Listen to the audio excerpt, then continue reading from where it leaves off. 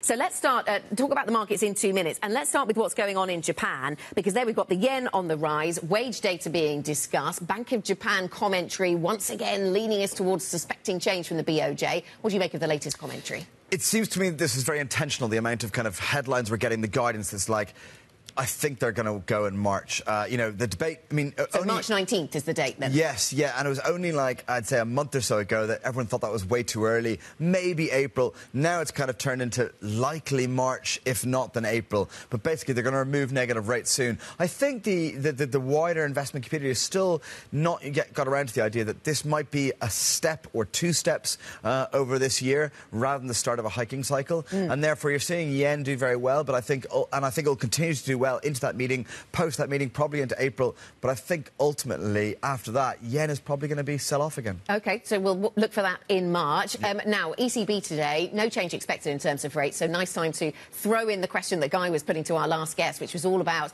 you know, if the ECB had a dual mandate like the Fed, would the ECB actually be cutting rates right now? Is that the, the concern level that we've reached around the European economy? It's a great question, but I don't think they'll be cutting quite yet. No, and I think actually ultimately, I think European growth won't be as bad as people think. I think that Europe is clearly the laggard. Uh, I think it was very, very disappointing data into the end of last year, but I think it's nearly the repeat of 12 months ago, where we were really like, you know, if you remember at the start of last year, we were worried about Europe, UK careening into a terrible recession. Ultimately, they held up a little bit more resilient. Mm. I think it's kind of the same for Europe this year. It is poor, it's soggy, it's not good. I don't want to, I don't want to suddenly be sound like super bullish on European growth. I just think it's going to be slightly more resilient. So I don't think the ECB would cut, be cutting now.